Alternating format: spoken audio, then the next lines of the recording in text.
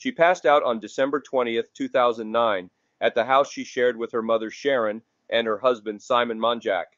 She experienced cardiac arrest on the way to the hospital, and at the age of 32, she passed away. Her cause of death was pneumonia, with anemia and accidental overdose of prescription drugs also playing a role.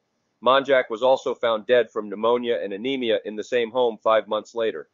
Since the two deaths, a number of theories have emerged, with many contending that the residence's black mold played a role.